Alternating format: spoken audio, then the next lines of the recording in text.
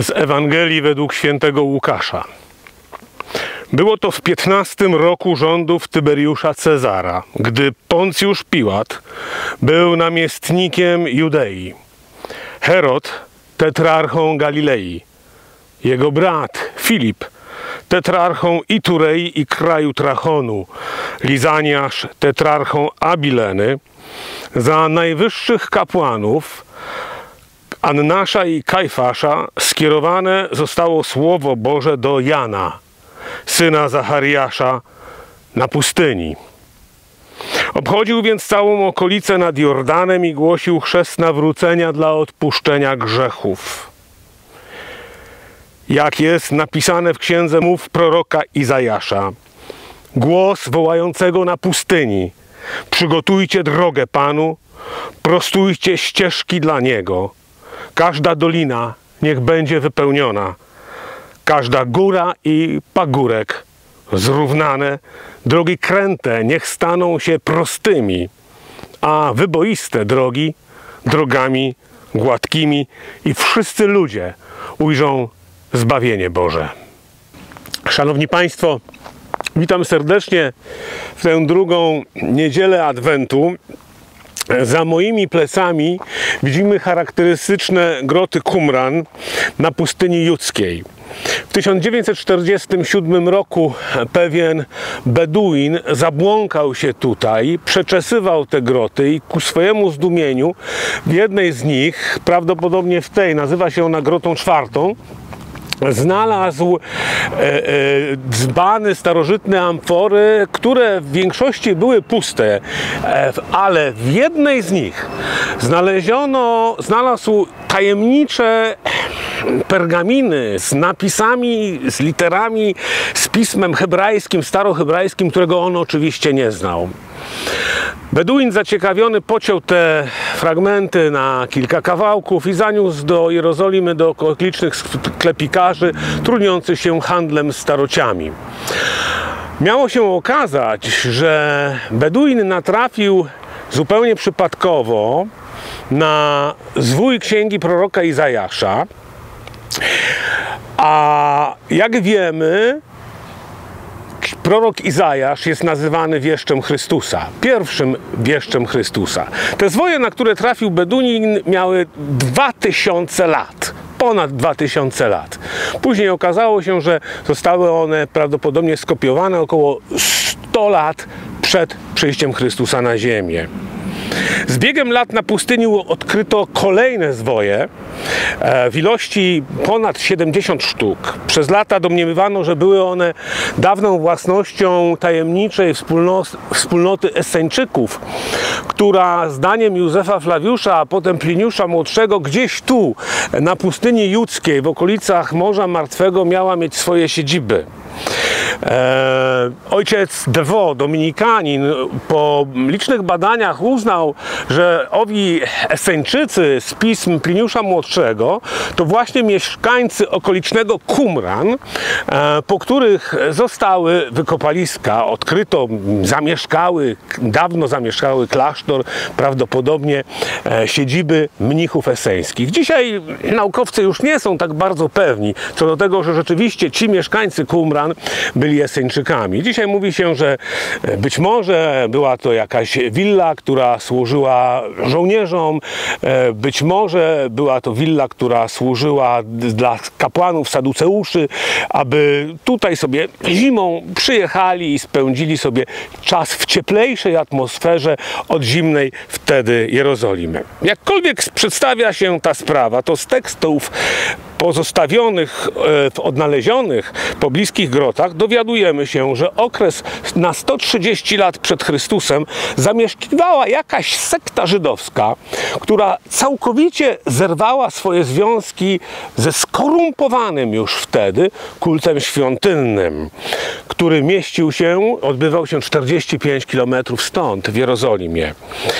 E, mieszkańcy tych grot uznawali kapłanów i arcykapłanów za skorumpowanych przedstawicieli martwej instytucjonalnej religii i wycofali się na pustynię, aby prowadzić tutaj swoiste życie monastyczne pod wodzą tajemniczego mistrza sprawiedliwości. Dlaczego Was tutaj przyprowadziłem? Otóż odkrycia Qumran tak dalece podziałały na wyobraźnię niektórych historyków i niektórych literatów, że Roman Brandstetter w swojej legendarnej książce Jezus z Nazaretu umiejscawia jakiś okres życia Jana Chrzciciela właśnie e, w Qumran, właśnie wśród Eseńczyków. Jest to teza mało prawdopodobna, niemniej jednak łatwo sobie wyobrazić, że pewnego dnia gdzieś na pustyni e, Jan Chrzciciel usłyszał słowo Boże. E, skąd ta teza? Mm, wzięła się ona z prostego przekonania, że Seńczycy byli kontestatorami kultu świątynnego, a święty Jan ostrze swojej krytyki kierował właśnie przeciwko Sanhedrynowi, przeciwko tym, którzy w ówczesnym czasie sprawowali kult w Izraelu. Jakkolwiek sprawy się mają, e, warto zwrócić na uwagę na jeden bardzo ważny element.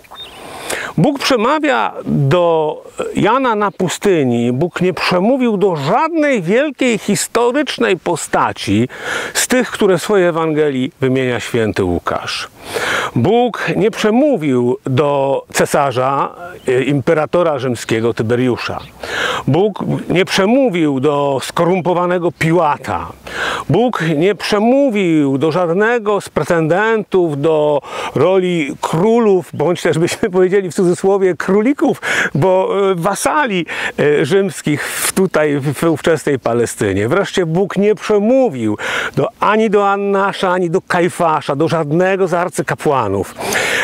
Bóg przemówił do Jana, Powiedzielibyśmy dzisiaj tak, że Bóg przemówił do zwykłego księdza, bo przecież Jan należał do rodu kapłańskiego.